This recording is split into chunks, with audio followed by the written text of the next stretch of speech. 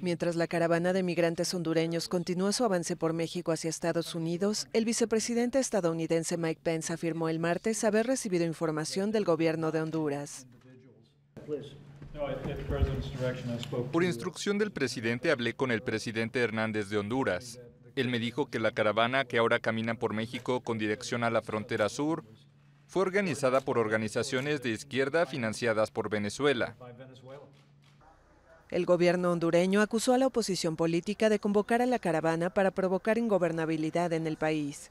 Por su parte, el presidente Donald Trump sostuvo sus afirmaciones de lunes en las que aseguró que entre la caravana viajaban personas de Medio Oriente.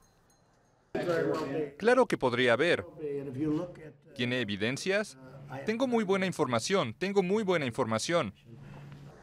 Trump advirtió que comenzará a cortar la ayuda económica que su país otorga a Guatemala, Honduras y El Salvador al estimar que fueron incapaces de impedir que la caravana partiera desde Centroamérica e insistió en que no permitirá el ingreso de los migrantes a territorio estadounidense.